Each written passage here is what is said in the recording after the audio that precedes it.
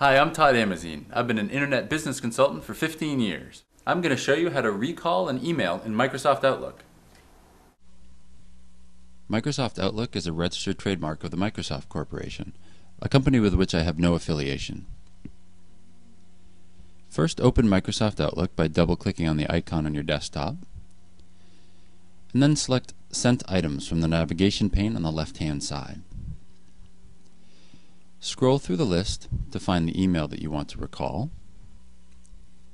Once you find the email, double-click on it to open it, and then select Actions from the menu bar within the open email. Scroll down and click on Recall this message.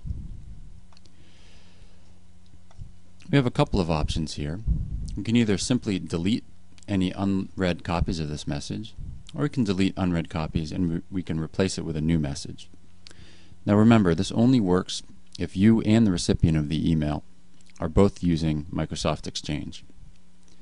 I'm going to keep delete unread copies of this message and then keep the box checked that says tell me if recall succeeds or fails for each recipient and click OK.